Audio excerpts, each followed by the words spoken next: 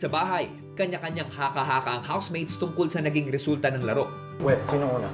Hindi ko pa al- alala. We don't know. I got to return three balls. I think Ham. Good job. You're the last one na nahulog. I don't know. I don't know. I don't. Ayoko umasa. I saw Zach, but I don't know. Galing nyo lahat. Amazing. My heart. Imagine niyo ba sarili ko yung 8 months? no. Yeah. Next ako. Ako next kay Jack.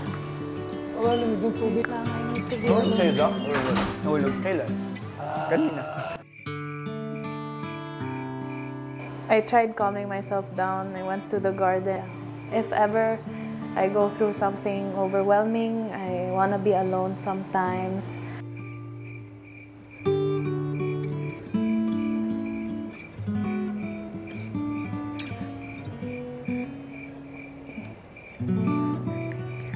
Because I feel like it's in my hands. And I have the power to do it. And I hope na I did it because I'm thinking about my family. This is one of the biggest things I've done in my life. Growing up, I've never really put my own foot forward. I'm always a good girl. and then coming here is like my first big girl move. First time I'm being in a different city by myself, being in a different house by myself, being independent basically. And I feel like after this, they will see me as a woman who can handle herself. And then I am not as soft as they think. I hope na even if I'm not with them right now and they are supporting and they are proud of me and they're saying that's my sus. Maya-maya pa, tinipon ni Kuya ang lahat para sa isang mahalagang anunsyo. naging mahigpit at malapit ang inyong laban para sa pagiging bahagi ng Final Five. Pero sa dulo, isa ang nanaig. At siya ang taong natira sa dulo at huling natanggal sa laro. At ikaw yun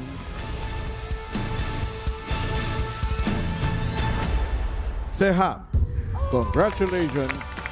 Ikaw ang bahagi ng Final Five ng adult community.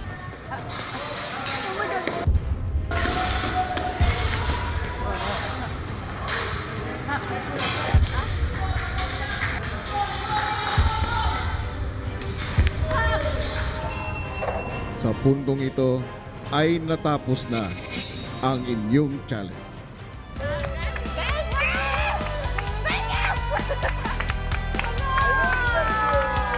Oh. Oh!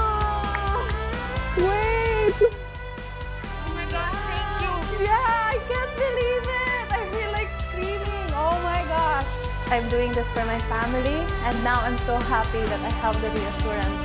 I showed tough side. Nasungkit na nga ni Seham ang ikatlong pwesto sa Final Five ng edisyong ito. Pero kung makakahinga na siya ng maluwag, kabaliktaran naman sina Isabel, Laziz, Raf at Zach na haharap sa nominasyon at posibleng magpaalam na sa darating na eviction night sa linggo. At dahil dyan, voting is now officially open! Sino nga kaya kina Isabel, Laziz, Raf at Zach ang gusto nyo pang manatili sa bahay ni Kuya? Ipaglaban na ang housemate na karapat dapat matira hanggang dulo. At para sa mga detalye ng pagboto, narito. Sila ang mga nominado ngayong linggo. Ang bubbly boss lady ng Leyte, Isabel. Ang model skarting breadwinner ng Uzbekistan, Laziz. Ang Miss Beauty Kabuguro ng Las Piñas, Raf. Ang Smillennial Charmer ng Aurora, Zach.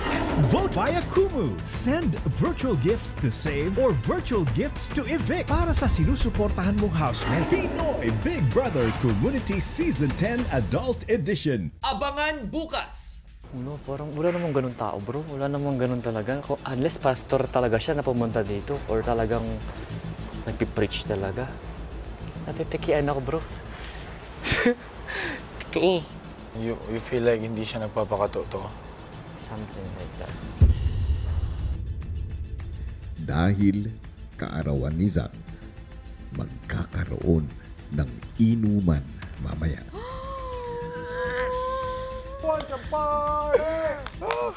ng loob pagka ko po ay na medyo natitipsy, mas wala akong pakialam na sabi ng ibang tao, madaldal po ako.